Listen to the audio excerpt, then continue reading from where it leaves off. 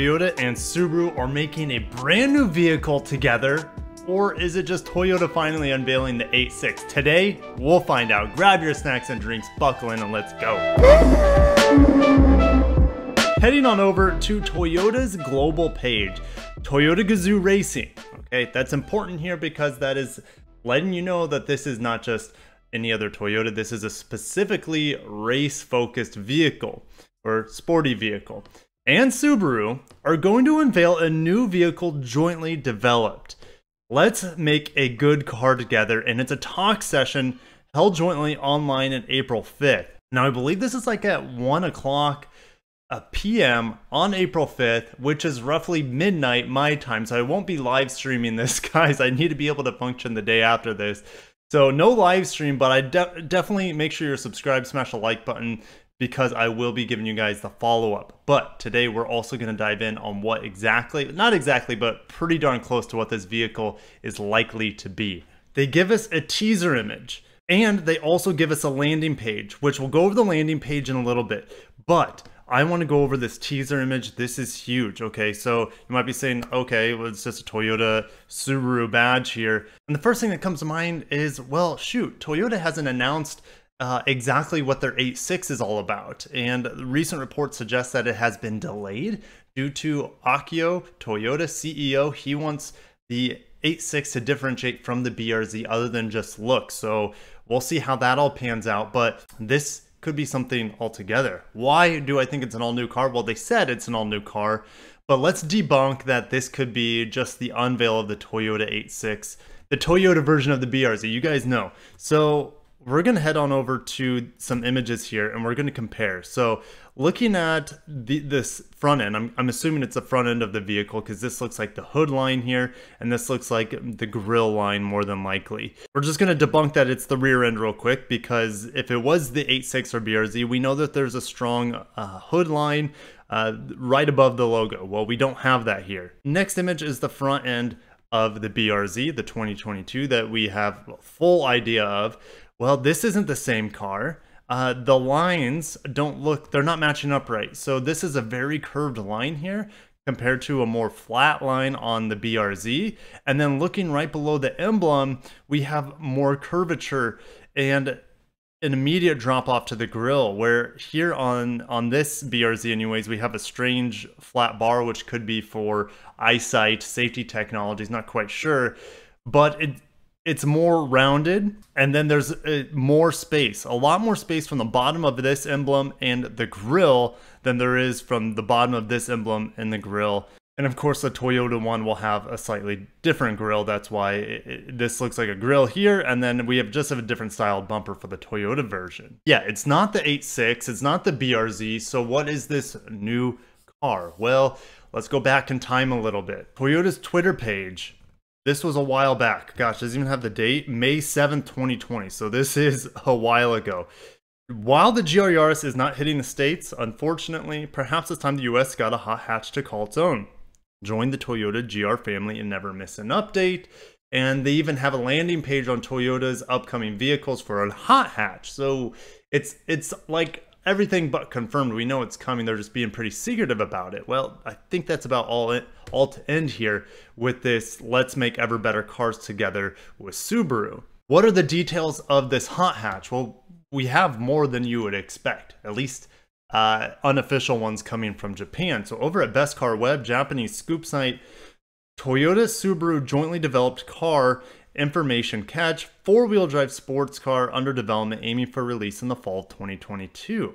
Just to give you an idea, this was in early February over a month ago. So this news came out before this announcement from Toyota and Subaru. So what do we know about it? Well, Toyota and Subaru are jointly developing a new WR, uh, WRC World Rally Championship, I believe, machine. The body is similar in size to that of the Impreza Sport, and it combines a vertically mounted horizontally opposed engine with symmetrical all-wheel drive and transmission. So this will be underpinned by another Subaru powertrain, another Boxer engine, which yeah, it's it's better than no sports cars, but I'd rather have like the GR Yaris's uh, turbocharged three cylinder. That thing's a complete hoop, but we don't know exactly what this engine's going to be. But we'll get into a spreadsheet in a little bit that will talk more about it.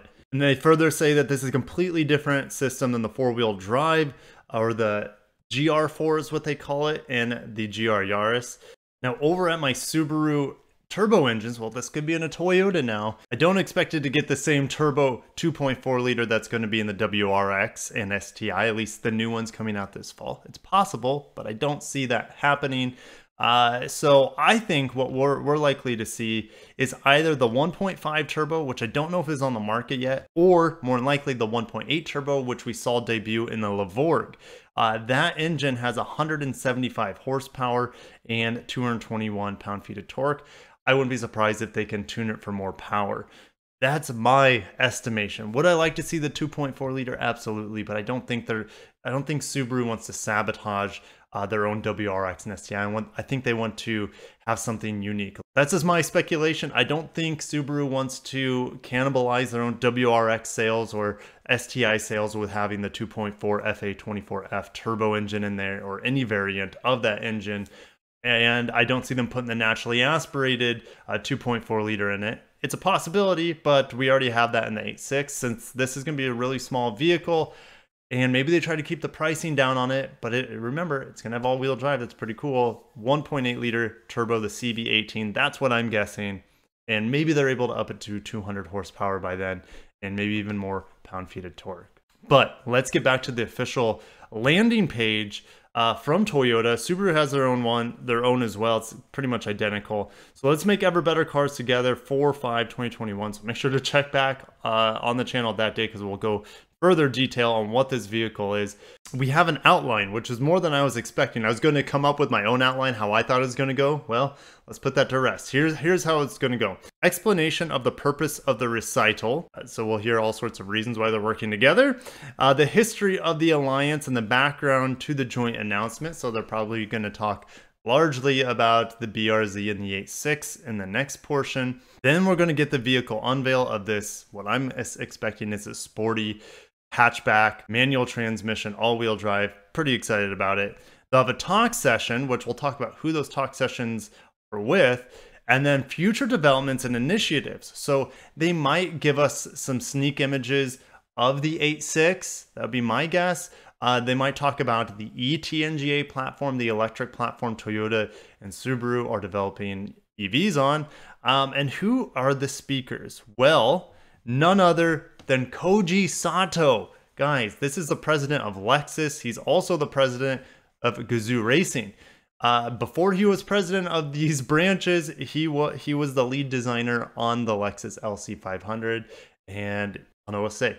He's a legend. He's already a legend, and he's got many, many more exciting things to do. He's the one that approved the IS500, dropping the 2UR GSE back into the IS for the first time in uh, what seven years or so. That's super exciting. Koji Sato, hats off to you. On the Subaru end, we're going to have Tetsuo Fujinuki, and he is the general manager of technology and CTO. He wears many, many hats like Koji Sato san. So, very exciting to see these two big, big, exciting leaders of their companies uh, talk about performance and new vehicle. I'm excited for it, guys. I really geek out over these things that you guys know. I have some bonus coverage for you guys, so strap in for a little bit longer. Uh, Isuzu, Hino, and Toyota accelerate case response through commercial vehicle partnership. Uh, well, Toyota and Hino are pretty much the same company, but now they're working with Isuzu to build electrified hydrogen fuel cell commercial vehicles. That'll be interesting to see how that takes off. And when you add all of their commercial success in Japan, they they account for about 80% of commercial vehicles in Japan. So, yeah, they're going to further dominate the market especially with automation and electrification and alternative fuels, things like that. So, that's kind of cool. It'll be interesting to see where that goes. GTR news, uh, the R36 GTR is pretty much going to be the R35 from what we're seeing here. It's just going to have a mild hybrid, uh, which we do have some power numbers on how that is going to be the electrification to uh, the twin turbo V6. It's a 48 volt mild hybrid and it has about 27 PS, which is let's say 26 horsepower and 250 newton meters of torque, which is roughly 185 pound feet of torque uh, to assist the elect to assist the twin turbo V6. So even more power, more torque for the upcoming GTR Doesn't look like it's going to be a redesign, guys. Looks like it's going to be a major refresh. Same body, same everything. Maybe they use more carbon fiber on it. That'd be my guess. It'll be interesting because Toyota, because Nissan has teased and shown us their their carbon fiber factory. So yeah, we'll see we'll see how this all shakes out. But again, just take that with a grain of salt. And lastly, we're talking about some Korean auto news earlier in the week. About I think it was about eighty thousand Genesis sedans were recalled due to fire risk. It just continues to burn through their entire lineup. That that recall, it's crazy. It's crazy, crazy. You can't. They don't even want you to park them inside nor do they want you to park these Hyundai Konas inside that have all been recalled. I think roughly 80,000 worldwide of the Kona EVs as well. And it doesn't look like the automaker has given a clear plan on when cars will fix. They have no dates for the customers to bring their cars in. And yeah, it's kind of souring the taste of the EV owners uh, from Hyundai. So yeah, very interesting. I'll put the link in description, but this video is gone on too long. A lot of news today. Cannot wait to see what I think is this all-wheel drive manual transmission hot hatch from Subaru and Toyota. We don't have to wait long. Gosh, what, a week? Two weeks, something like that, to see this unveil. Super excited, guys. I'll see you in the comments below. If you made this fun video, smash the like button. If you haven't subscribed for more Japanese Korean auto news, I'm currently reviewing a Mazda 3 Turbo Hatch. I don't know what to say. I'm excited. So, guys, have a wonderful day. Take care of yourselves, as always, and peace out.